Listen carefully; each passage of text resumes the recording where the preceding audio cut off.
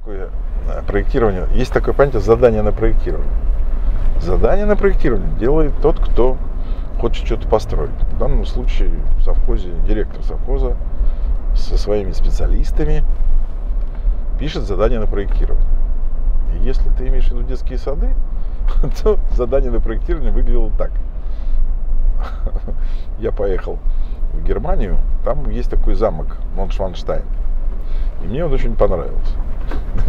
Я взял этот замок, то есть фотографию этого замка, привез его сюда и проектировщикам сказал, вы можете э, детский сад вот, э, запроектировать так, чтобы он соответствовал всем нормативам, которые в России есть, а у нас очень жесткие нормативы значит, э, по поводу инсоляции, площадей, значит, наличия мест ну, различных там, вот, игровых, то есть там площади и все остальное определено СНИПами.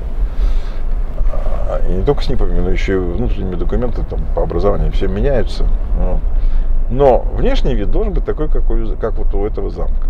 Ну и они нарисовали. Потом еще раз нарисовали, потому что не понравился первый вариант.